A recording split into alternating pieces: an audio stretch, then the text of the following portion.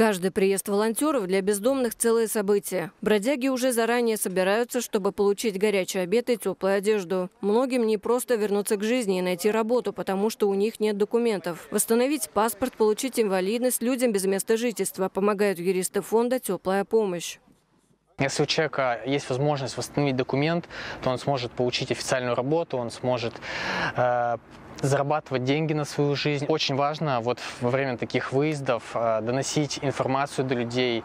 Это действительно реальная возможность для бездомных людей как-то наладить свою жизнь. Во время выезда волонтеры раздают информационные листовки бездомным, а также жителям города. Там указаны адреса пунктов приема теплых вещей, чтобы любой неравнодушный южноуралец мог присоединиться к благотворительной акции. На листовках есть информация о том, что бездомные могут получить паспорт, либо другая листовка заключается в том, что жители Челябинска могут сдать ненужную одежду на определенные пункты, и эти вещи мы раздаем бездомным. Теплые вещи южноуральцы могут сдать в семи точках сбора. Сейчас одежда и обувь особенно необходимы. Волонтеры выезжают на улицы Челябинска и Копейска несколько раз в неделю. Венера Каримова, Кирилл Руднев, 31 канал.